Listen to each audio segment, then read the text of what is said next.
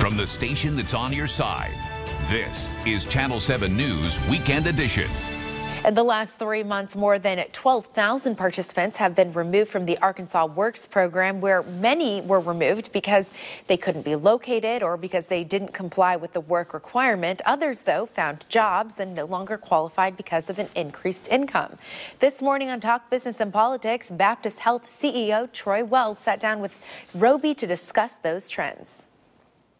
If that continues at the pace it's been on, that raises quite a few concerns. And I think it's just real important that we support our legislator and our governor to uh, make sure that we, we take steps to not have people roll off inappropriately. My hope is, by the way, that those 12,000 people, or 9,000, the three that disappeared, right. uh, that, that they're all finding jobs and going to work and don't need it. Yeah. And that's what we all want.